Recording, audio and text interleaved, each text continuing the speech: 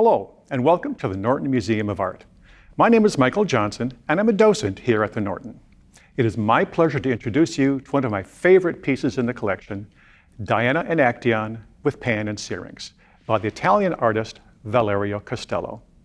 I'll tell you a little bit about the artist shortly, but first, let's look at this wonderful painting. The oil painting is quite large, almost five and a half feet high and over eight feet wide. In it, we see a landscape with two groups of people clustered in the foreground, very close to the picture frame, with a turbulent sky in the background. The figures are all framed between two clusters of trees. The sunlight appears to be coming from the right and slightly behind us as Castello uses the light almost like small spotlights, highlighting various parts of the main actors in the scene, causing our eyes to dance around the canvas. Our eyes are immediately drawn to the dominant figure of a woman in the center of the painting. As identified in the title of the painting, she is Diana, Roman goddess of the hunt. How do we know this? You can see that she holds a bow in her left hand, and on her head, she wears a tiara topped with a crescent moon, which is her symbol. Although primarily associated with hunting, Diana was also revered as the goddess of the woods, children and childbirth, fidelity, chastity, the moon, and wild animals. Her worshippers believed she had the power to talk to woodland animals and even control their movements and behavior, skills which would become important very soon. Behind her stand two nymphs, beautiful female spirits who appear to be engaged in conversation. Below the outstretched right arm of the goddess, we see the winged figure of Cupid, holding his famous bow. Diana appears to be gesturing and looking across the painting towards a young woman struggling in the arms of two male figures. Here we see a story recounted in Ovid's Metamorphoses, the well known collection of ancient Roman mythological tales. The beautiful nymph Syrinx had become an obsession for Pan. Syrinx was a follower of Diana, and like her, had vowed to remain chaste. Pan was a satyr, something of a half man, half goat.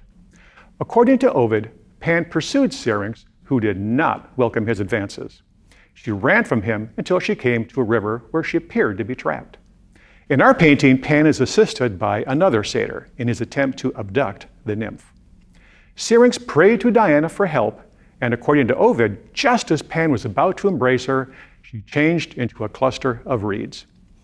Castello depicted the scene just before Syrinx's transformation took place. When Pan discovered that he was holding nothing but marsh reeds, he sighed in disappointment, causing the wind to blow through the reeds. He was enchanted by the sound, believing it to be the beautiful cry of his beloved Syrinx. If you've ever blown across the top of a glass bottle, you can imagine the sound. Pan cut the reeds free and fashioned a set of pipes so that he could have her with him always. To this day, you can go online and buy a set of rather inexpensive pan pipes like the set I have here. On the right side of the painting, we see a young man holding a hunting spear. He looks at the goddess while stretching his right hand down to the agitated hunting dog at his side, as if to calm the excited beast. This is Actaeon, whose tragic tale is also recounted in Ovid's Metamorphoses.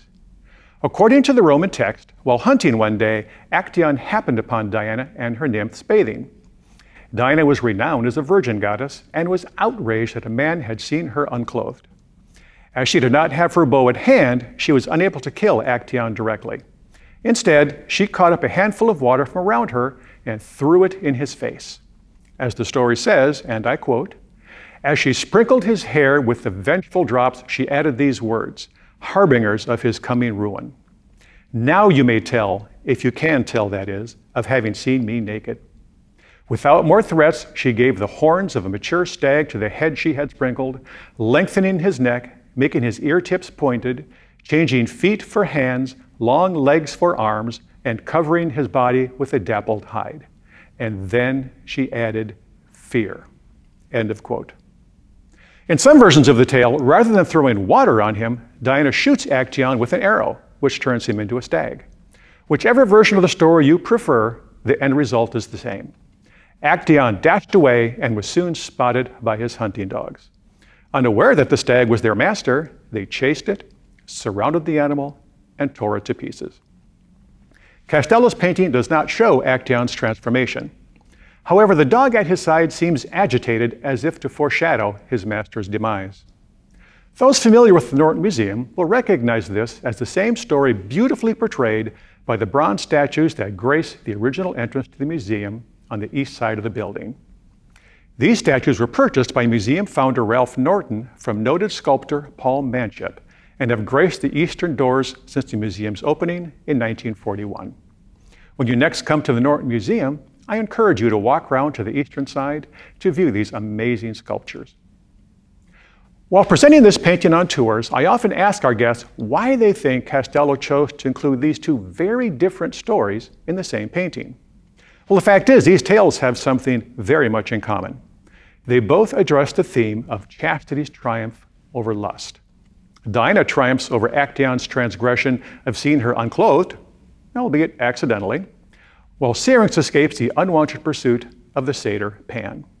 A companion piece or pendant to this work, titled The Legend of St. Genevieve of Brabant, is in the collection of the Wadsworth Atheneum in Hartford, Connecticut. It depicts a scene from a medieval legend that illustrates the theme of fidelity and love triumphing over deception. We believe that these two works would have been exhibited together by their original owner in the 17th century. So, let's talk about the artist. Valerio Castello was born in Genoa, Italy in 1624. His father was Bernardo Castello, an Italian painter of the late Mannerist style. His father passed away at the age of 72 when Valerio was only six years old.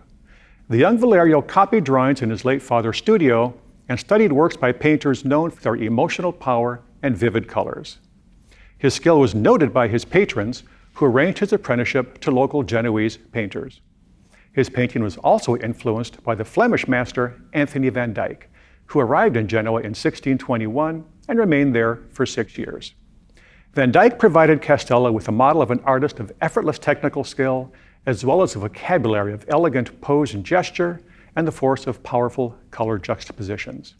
All these qualities are apparent in Diana and Actaeon with Pan and Syrinx, a work of extraordinary dynamism and a textbook example of Genoese Baroque painting renowned for its dramatic realism. Relatively few of Castello's paintings are dated. However, it's believed he painted this work probably around 1650 at the height of his mature phase and just a few years before his untimely death at the age of 39. At the time he executed the Norton painting, the Republic of Genoa was at its height, enjoying extraordinary growth based on international trade and banking. The economic boon taking place proved beneficial to local artists due to the many commissions for the decoration of palaces and churches. In the last decade of his life, Castello received many of these lucrative commissions. Patrons reportedly admired his paintings of mythological and religious subjects. His frescoes of glowing color and dramatic illusionism in various Genoese palaces made him quite famous. As eloquently written by Castello's biographer in 1674, from foreign countries, including all of France, orders for his pictures came to Genoa, and this raised their prices too high for words. Well, I'd say we're quite fortunate to have one of his works in our collection here at the Norton. I hope you've enjoyed this presentation on one of the highlights of the European collection at the Norton Museum of Art. The next time you visit the museum, I encourage you to take the stairs or elevator up to the third floor, which houses the older European art. Here, you'll be able to see this great painting in person, along with many other fascinating works. Until then, I thank you for your attention, and I can't wait to see you at the Norton.